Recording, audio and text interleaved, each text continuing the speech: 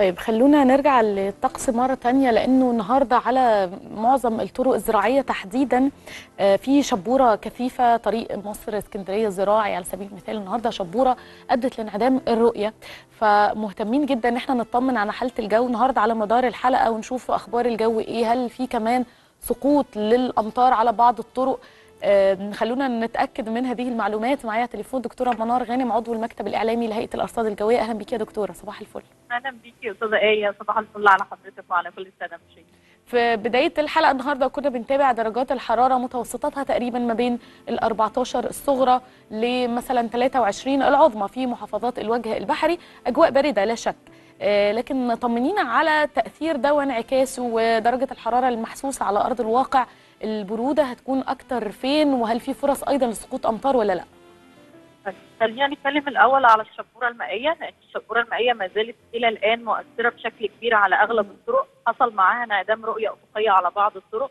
رؤية أفقية انخفضت لأقل من 200 متر و 800 متر في بعض الأماكن ويمكن أغلب الطرق اللي موجودة في آه، شمال الصعيد القاهرة الكبرى الوجه البحري السواحل الشمالية آه، كمان مدن القناة وسط سيناء الطرق دي كلها متغطية بشكل كبير بالشبورة المائية الكثيفة بشكل كبير اللي معاها زي ما قلنا في الأول انعدام رؤية افقيه.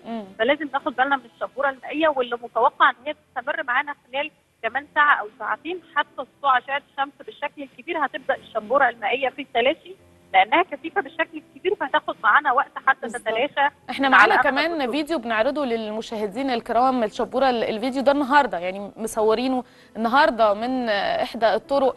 آه، واضح جدا انعدام الرؤية. أنت مش شايف أبعد من يعني متر بعد عربيتك. فأرجو برضو إن الناس تتوخى الحذر وهي سيئة. إذا كانوا مضطرين للقيادة لو مش مضطرين أصلا يفضل إنه ما لا تسلكوا هذه الطرق. هل الشبورة دي مكملة بكرة كمان يا دكتورة منار؟ هو بالفعل لسه الشبورة مكملة معانا خلال الأيام اللي جاية بس إن شاء الله متوقع إن كثافتها تقل فما تبقاش بالكثافة اللي إحنا شايفينها النهارده أو حتى كمان آه، إمبارح. فإن شاء الله الكثافة خلال الأيام المقبلة تقل فهتكون شبورة مائية ممكن تكون كثيفة لكن مش هتؤدي طبعا لانعدام رؤية مش بالشكل ده يعني.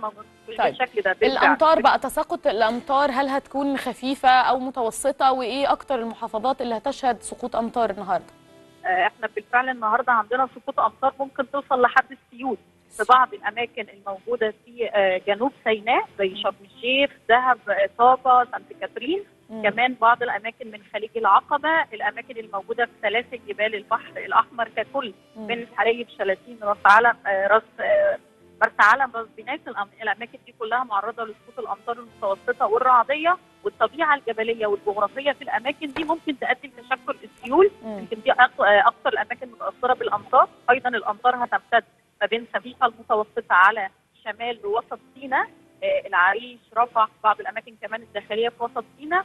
كمان هتمتد خفيفه المتوسطة لمحافظات جنوب الصعيد. وتكون خفيفه على السواحل الشمالية. هي المحافظات المطله على البحر المتوسط وشمال الوجه البحري بس الامطار الخفيفة مش هتأثر على أعمال الأنشطة اليومية. الامطار. المؤثرة بشكل كبير هي اللي إحنا ذكرناها اللي ممكن توصل لحد السيول في جنوب سيناء. سلاسل جبال البحر الأحمر نعم لكن يعني. الظاهرة الجوية الواضحة جدا النهارده هي الشبورة على أغلب الطرق بالفعل. معانا على مدار الأيام اللي جاية شكرا ليكي دكتورة منار غانم عضو المكتب الإعلامي لهيئة الأرصاد الجوية ارجوكم خدوا بالكم إذا مش مضطرين تنزلوا تسوقوا في الشبورة الكثيفة اللي بتؤدي لانعدام الرؤية حاول تأجل يعني مشوارك لما بعد انقشاع هذه الشبورة